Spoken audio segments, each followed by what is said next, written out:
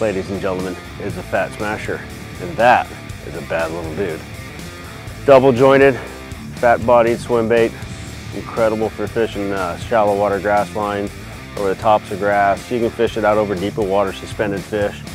Uh, it's a slow sink, but you can burn it, you can wake it, you can slow roll it.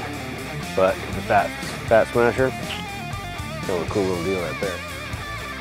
Fishing a fat smasher, it's, it's not difficult, man. It's, it's a chunk of wine bait. You can throw it out there. Yeah, you can slow roll it. You can fish it like a spinner bait. There's one.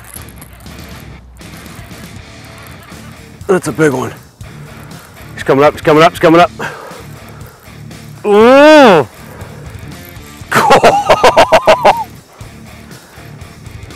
I threw that smash fat smasher out there and I let it sink down maybe a foot or two. Whoa, that's a big one.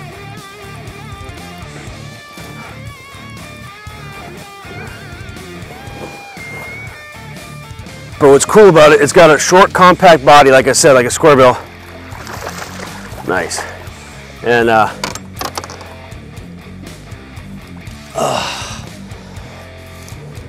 but that double jointed bait just really mimics forage bait fish a lot better, but that's a nice fish right there.